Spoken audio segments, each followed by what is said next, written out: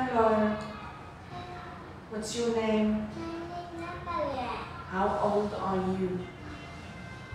How old are you? Seven. How are you today? Good. Well done. Okay, what are these? There. And uh, Chair. Rubber. Ball. Pencil. Bag. perfect. And this is? Dad. Brother. Mom. Sister.